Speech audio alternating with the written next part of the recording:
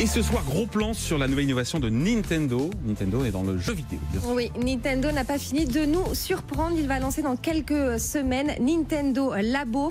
Euh, C'est une gamme d'accessoires pas comme les autres hein, autour de sa console Switch. On va en parler avec euh, Wale. Bonsoir Wale Badamosi Oyekami. Vous êtes président fondateur Bonsoir. de l'agence euh, Derwin.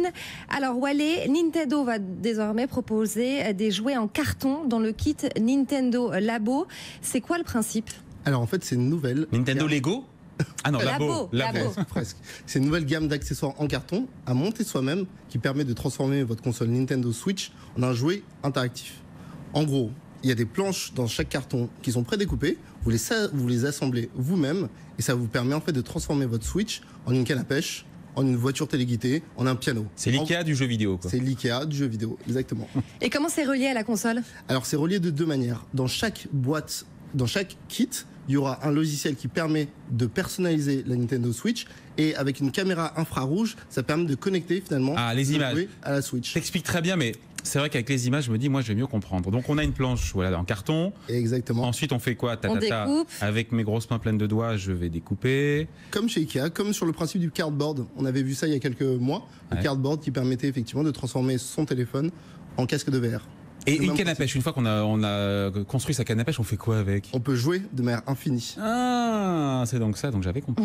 Pour l'instant, ils proposent des modèles, euh, euh, un piano, une petite voiture, une canne à pêche. Est-ce qu'il va y avoir d'autres modèles de, euh, de, de jouets en carton? Absolument, ils ont créé en fait une plateforme où chaque personne, un peu astucieuse, pourra créer son propre cardboard. On voit aussi des Donc, troisième c'est- parties ça va être arriver. customisable. Et customisable, et surtout c'est un écosystème où chacun pourra créer son propre jeu. Donc finalement, c'est un mécano 2.0, quoi.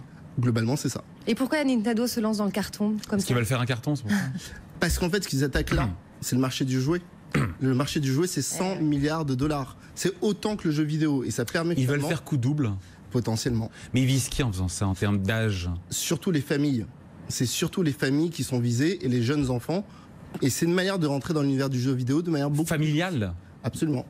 En mettant dans la boucle à la fois parents et enfants. C'est ça la stratégie, c'est malin. C'est la stratégie Nintendo. Et ils risquent pas de s'éloigner des gamers purs et durs qui restent quand même au cœur de leur, euh, de leur cible? En fait, les hardcore gamers, désormais, ils ont aussi des enfants. Donc c'est une manière pour eux de Ouais, recréer du lien sur les écrans à travers la le Nintendo Labo, oui. Et avec ce Nintendo Labo, vous pensez que Nintendo va faire le poids face à ses concurrents? Parce qu'il y a Sony qui prépare euh, pour cette année de nouveaux jeux vidéo euh, adaptés à, à son casque de réalité virtuelle. Donc réalité virtuelle versus jeu en carton. C'est un peu le choc euh, des titans là. C'est exactement ça. C'est une autre alternative. C'est un chemin qui est totalement différent. C'est la simplicité. C'est le fait soi-même, à la maison. Ah. On n'est pas immergé solitairement dans un casque. On est en famille, au milieu du salon. Et puis c'est complémentaire quelque part. Exactement. Et puis ça va- et ça- complémentaire. Et ça va aussi euh, doper les ventes de la Switch. Ça a créé un effet d'annonce assez puissant. On a vu la bourse de Tokyo augmenter de 2% au niveau des actions Nintendo déjà. Ah, c'est pas mal. Et la Nintendo Labo, elle sera commercialisée le 27 avril. Ça va coûter combien? Quento, Alors, la Quanto Refil. Questa. Alors la première box sera 69,99€. La deuxième qui vous permettra de devenir un robot sera 79,99$. Et là, les précommandes sont déjà euh, en ligne. Elles On sont a déjà un ligne. retour ou pas? Elles sont disponibles. Il y a beaucoup d'excitation sur la toile, donc on pense que les premiers chiffres sont bons. Eh ben, Eh on ben, suivra ça. Exactement. Dès que tu as des chiffres, tu reviens nous voir. Merci beaucoup. Wale Badamosi Oyekani, merci. Vous êtes président. Tu es président. On reste sur le tu de l'agence Darwin. Merci beaucoup.